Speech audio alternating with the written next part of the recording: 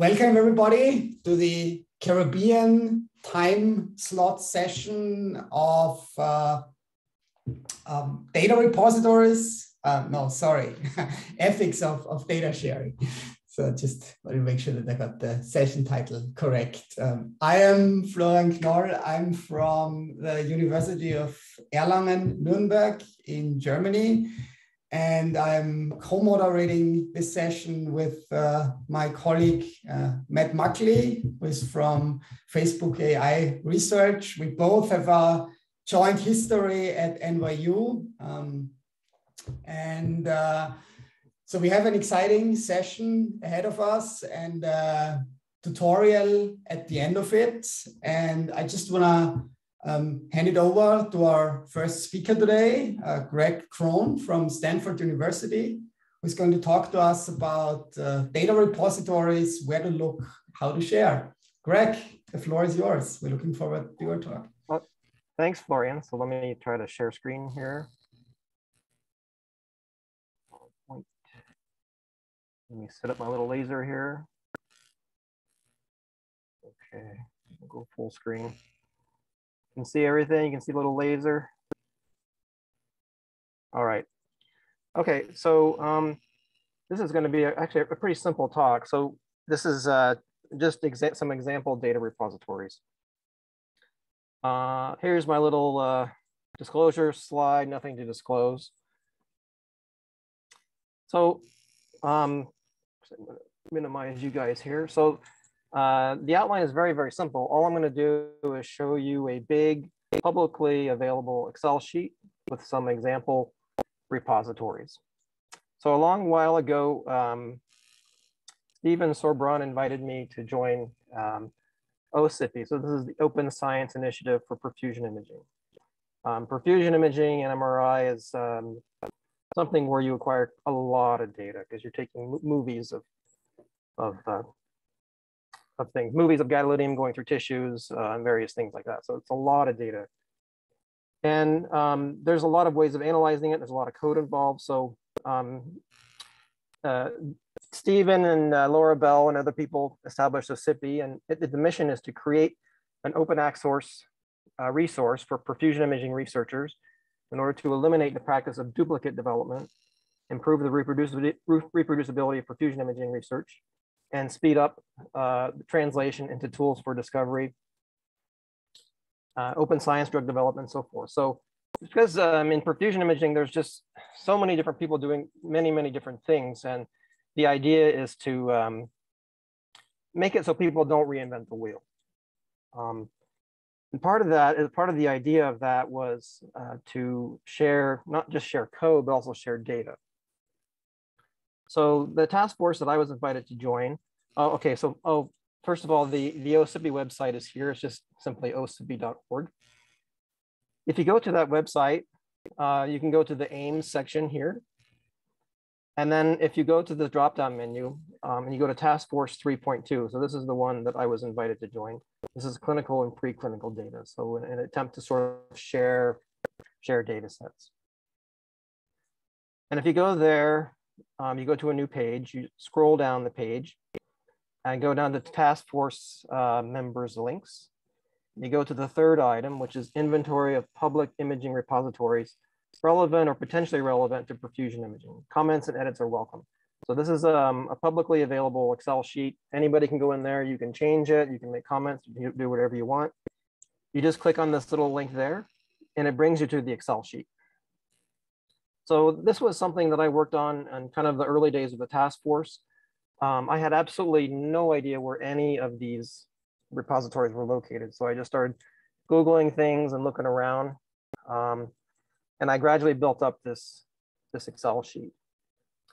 So um, it's just a two-dimensional Excel sheet. So there's an, a, you know, an x-axis and a y-axis. Along the y-axis is repository characteristics. And along the x-axis is um, all the different repositories that I could find. And the repositories are definitely not exhaustive. It was everything I could find in the limited time I had, but definitely not exhaustive.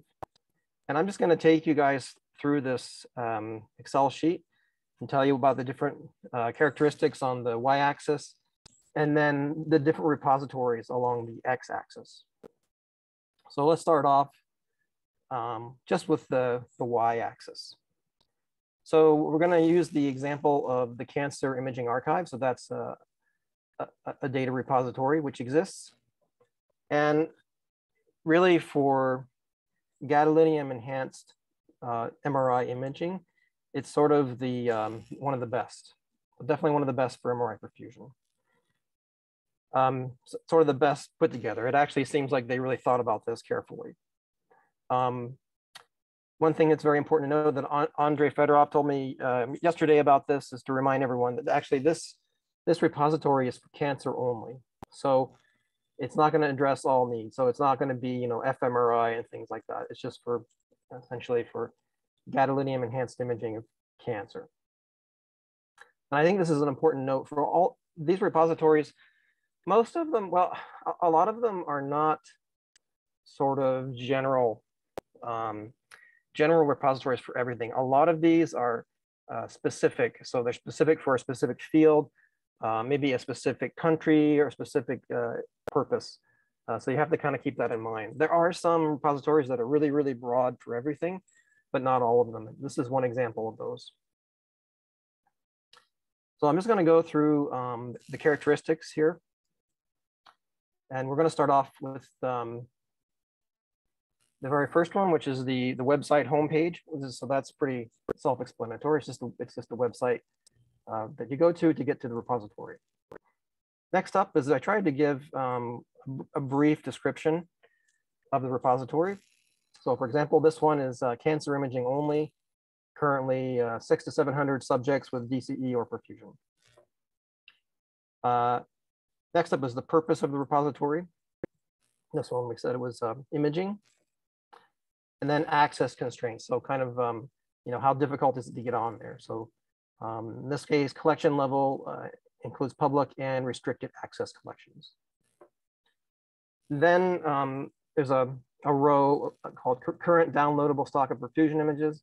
And for this one, estimated around six to 700 DCE or perfusion studies. Now, often for, for this row here, um, it was very difficult to try to figure this out because you know you can go to the search function and do a broad search, but that doesn't necessarily you know reveal everything that there is on the site. So this is a bit of a bit of an estimate here. Um, next up, as we tried to put a, a, link to an example perfusion data set that would be um, on this repository. So this is a, a, link to an example set on the TCIA. And next up is uh, constraints on the data size for upload. And for this one, none are stated. Uh, I'm going to stop here and go on a little detour because this is this is one of the most important parts of any repository. So it's a it's a really big deal. How much you know how much data can you upload? Like what's the size limits? And basically, you know, roughly speaking, anytime you're going to load more than a few gigabyte, um, you're going to run into a bit of a problem. So uh, typically, you're going to have to spend money. So either you're going to have to spend money, or your institution will have to spend money, or something, you know, some kind of deal has to be made. Um, and this is kind of one of the big limitations of, of these repositories. Um, and of course, if you're doing dynamic contrast enhanced MRI or dynamic susceptibility MRI, or if you're doing uh, fMRI, um, to a certain extent, arterial spin labeling, and definitely if you have histology images, histology images, histology images take up huge, huge, huge amounts of space. So, um, you know, that's a that's a pretty big deal. And a few comments about this is it's important to know just how permanent a repository is. And ideally, you want something that's going to last pretty much forever. And um, so I, ideally, what you really want is a repository that's in, that's kind of hosted within some kind of long-term institution, an institution that you know sees itself existing for a very, very, very long time. so you know, I'm biased because I just moved to Stanford, but you know, Stanford does have its own sort of internal um, archiving system. So something like that would probably be, be ideal because you, you figure Stanford University probably isn't going to go belly up anytime soon. it's probably going to be around for a really long time. So something like that would be ideal. Um, Got to make sure it's well backed up. Um, had a colleague just the other day who lost a ton of data because some, something went wrong in the repository and they lost a bunch of stuff. Um, it has to be immune to personnel changes. So if somebody moves away or whatever, um, you know, that shouldn't really matter. So I guess these are kind of obvious things, but I, I wanted to point them out. Okay, so next on to the next uh, row, um, ease of download. So, you know, how difficult is it to download the data? So for this one, uh, it's public and no registration is required. So that's really nice. Um, ease of preview, I guess, you know, in terms of images, uh, this one actually has uh, an integrated image viewer. Um, next row is ease of upload. So, um, you know, how easy is it to upload data? And for this one, there is an application process involved. So maybe not quite so easy. Um, ease of search.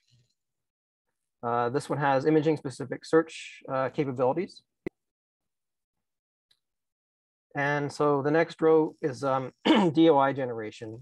Um, so the question is, does this repository generate um, a digital object for your data? You put it on there. And that's that's um, it's not something I know a ton about, but I think it's it's important when it comes to um, sort of the permanence of things on on the internet. And I'll go on another little detour about this because I was actually watching a talk the other day by some guys at Stanford, and they were talking about different types of sort of DOI things. Again, a, DOI is a digital object identifier, and that is a, a long-lasting reference to the object. So it's something that um, can't just disappear into the ether, right? It's something that's more solid.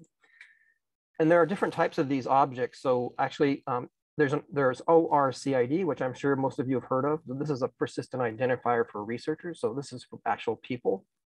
Uh, the DOI um, is for articles, data sets, and other digital materials. So it's sort of for information. There's also one called an RRID, and this is a persistent identifier for resources, um, cell lines, equipment facilities, and so on. So this is a, uh, sort of like a DOI for um, facility for physical facilities. And then there's actually one um, called an ROR, which is a persistent identifier for organizations. So probably we're going to see more about all this stuff into the future. Um, so I thought I'd go off on a little tangent about that. Um, but in our in our case, we're just talking about the DOI uh, generation. So this is a persistent identifier for your data. Okay. Uh, next up, we have a row. We sort of look to, to see if, um, if this repository is accepted by certain academic journals. So for example, this guy is accepted by uh, Nature Scientific Data and Medical Physics. And that's important because um, you know, if you're trying to publish uh, in a journal and they they insist that you put your data um, in a public repository, you want to make sure that the one you're using is one that they accept. But I think usually, I think when um, often when they they sort of insist on that, they have their own repository or they they suggest one. So this is probably not a big issue. Um, next up is um, uh, the fairsharing.org entry. And I don't actually know tons about fairsharing.org, but from when I looked it up, it's it's a pretty ambitious website. And what they're trying to do is they're trying to establish standards for repositories. So for example, um, the minimum metadata required. It's kind of like, it sounds like they're sort of, you know how people did DICOM for medical images? It kind of sounds like that's what these guys are trying to do for data repositories. And I don't know ton, a ton about it, but I just wanted to mention it. And while I'm there, there's also um, another uh, uh, organization or group of people called, uh, and they're, they, it's the Brain Imaging Data Structure, so BIDS. And so this group of people is trying very hard to standardize brain imaging data. And um, if there's time in the discussion afterwards, I would actually, I, don't know much about this. I would actually like to know what people think of this. Um, is this um, a, kind of an up and coming um, standard or is it kind of off on the fringe or does anybody know? I'd, I'd kind of, I actually kind of like to know because I feel like this stuff is um, going to be more and more important over time. And I know in, in, in the lab I work in, we have a ton of archive data and it's a complete mess. There's just different formats and nobody organized it. Uh, we're, we're going to uh, eventually hire a data manager to go and organize it and kind of want to know like, you know, should they put it into this, you know, sort of um, organizational format or what should we do? Like how, how big is this? Anyway. Um, okay, so the, the next row um, in this is um, time to publication. Um, so how long does it take once you upload it? Uh, how long does it take to, um, uh, to actually be published? Um, next row is de-identification. so uh, the Cancer Imaging Archive actually performs de-identification and Andrey actually told me that uh, it works with the submitter to de-identify the data set. And this is a very unique feature that is not available anywhere else. And I, I suppose de-identification is obviously way more important if you have um, human images, uh, defacing and, you know, uh, anonymizing, that sort of thing. Maybe not so important um, for uh, animal studies, but that's another thing that people have to think about. Um, the data format. So um, this one uses uh, DICOM uh, and then various other formats. But DICOM seems to be a big one. Um, the registration uh, link to, re to register for this um, uh, for this repository, uh, the login link, uh, a link where you can search, and the link where you can upload.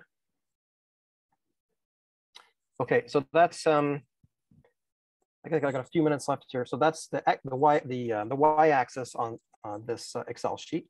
So now let's talk about the x-axis. So this is just the different repositories. And once again, it's not exhaustive. It's just all the ones that I can find. A few other people found a few more, and then I saw a couple more more recently. And um, starting off, of course, with the Cancer Imaging Archive, which we just talked about extensively. this is a really good one for cancer, especially for gadolinium enhanced uh, imaging. Uh, there's one called Open Neuro, um, this one is a little bit MRI, but a lot of other types of imaging uh, and other, other types of data, EEG, iEEG data. There's XNAT Central, which honestly I don't know a whole lot about, but it seems to be a fairly, um, fairly large one. There's NITRC. Uh, this is an image repository offering a cloud-based federated neuroimaging data storage system uh, for data sharing. And this one, um, it says it's available for thousands of subjects and imaging sessions, and it's based on XNAT. So I guess these two are linked. Next up is the Open Science Framework, and it's an open source software project that facilitates open collaboration research science. Uh, moving along, we have Zenodo. Zenodo is my favorite because it's so simple. and this is um, data storage and sharing on CERN's computer. So that's the big uh, particle accelerator in uh, Switzerland slash France. There's lots of space, super easy access. This is incredibly easy to, um, to upload and download things onto, and it generates DOIs and everything. Um, just kind of to blow your mind, CERN, the CERN system has one exabyte of storage. That's 1 million terabytes. And most of that is for their particle accelerator experiments, but they've uh, allocated a little bit for um, other people, I think in part to justify their existence. So they have lots and lots of data. Um, they um, if you if you have a, a, data set up to 50 gigabyte it's like you know only takes a few minutes to, to upload it on here. There's a doi created and everything. So this is really great. Um, i like this one. Um, there's a figshare uh, this is an open source repository that facilitates collaboration and reproducible research. Uh, we got dryad. This is a digital repository. It's a curated resource that makes research data discoverable freely reusable and citable it provides general uh, purpose home for wide diversity data types. Then there's something called BMI XNAT, which is must be related to the other XNAT. And then, so the ones that are in yellow kind of highlight are what we felt were maybe a little less um, practical for perfusion imaging, um, or not practical at all, but something, the stuff that we thought we should put into the to the Excel sheet just to make people aware of it. So there's the Human Connectome project. Uh, this is a large repository of structural fMRI and um, arterial spin labeling data of normal brain. Next up, we got the Alzheimer's disease neuroimaging initiative or ADNI. So for Alzheimer's uh, type data, you have SICAS. It says it offers a unique combination of competence in acquiring and storing medical images, processing and visualizing data for research and applications in medicine. There's Cardiac Atlas Project, so all kinds of cardiac data. And then there's Dataverse, which is a fairly big one. uh, repository for any research data in any field. Uh, there's Mendeley data. I have a note here. It's a cloud-based, oh, that's a misspelling, uh, cloud-based repository, uh, 10 gigabytes per data set. And then the last one that I found actually fairly recently is the Science Data Bank. Uh, I believe this one's based in China. Um, it was mostly in Chinese. The English translations weren't very good, but um, it says it provides free online services for scientific research individuals in the aspect of data storage and data publishing. So those are all the repositories we could find. I'm sure there's others. Those are the ones that we could find. Um, so to summarize, um, the repositories which we found are simply located in this, in this Excel sheet. You're more than welcome to go in there and look at it, add to it, make some comments, change things, whatever you want to do. Um, you don't want to write the link down. Um, it's in the OSIPI Task Force 3.2 um, inventory of public imaging repositories. I feel like it's still kind of early days in terms of repositories. Um, and still lots to learn. And I haven't uh, myself, uh, you know, to be perfectly honest, I haven't uploaded um, any data sets to repositories yet. Um, part of it is uh, some, like a lot of my data was, uh, you know, human patient data. So how do you deal with the, the legal issues of all that? And even with mouse data, um, there are, you know, intellectual property issues and things like that. So things are, there's a lot of tricky issues to navigate. Um, and I still think we're, I still feel like we're still figuring this out. Um, anyway, that's all I have. And I hope this gives you some flavor for available repositories. Thank you. Thank you very much for this great overview and analysis of what is out there in terms of resources. Um, I think we can take maybe one or two questions somebody has a question that they want to type in the chat.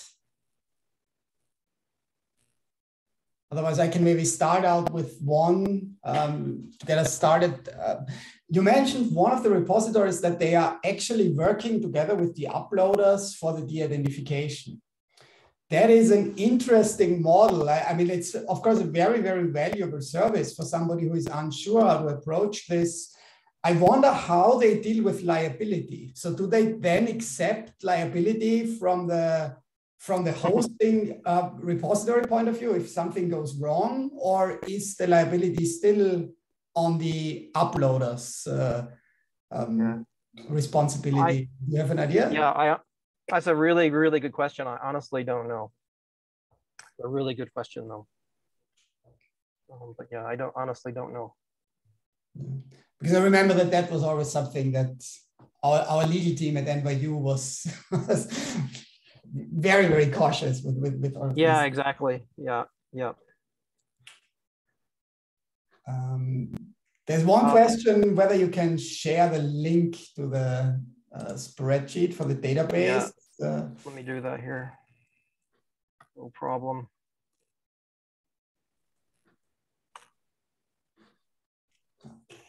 Thank you. Uh, here, I'll send it to everyone else.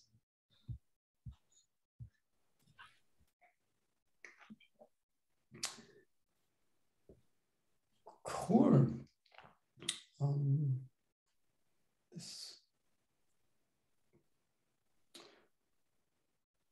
So there's one question from the chat um, whether it would make sense to add in the curation um, a listing information whether it's preclinical or only clinical data.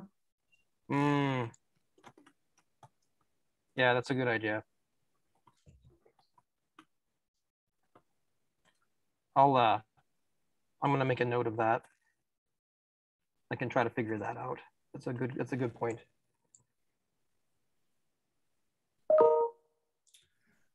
Okay, then yeah, thanks a lot. Uh, let's all uh, thank uh, Greg and um, let's move on to our next, uh, not not quite the same effect as in an in-person uh, conference, of course. But.